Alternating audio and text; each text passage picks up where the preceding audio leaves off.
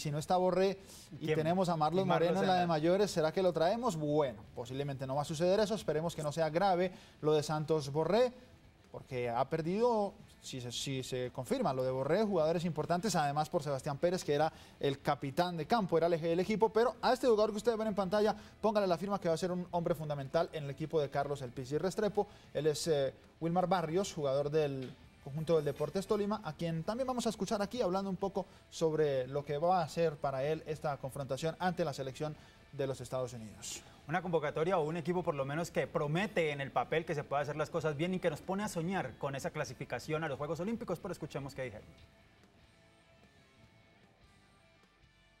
Es algo que se maneja con mucha inteligencia, mucha tranquilidad, sabiendo el recorrido de, de los jugadores importantes que están conformando esta selección. Entonces yo creo que hay jugadores muy maduros donde eh, uno aprende cada uno eh, lo positivo de ellos. Bueno, eh, creo que estoy a- al 100%, ¿no?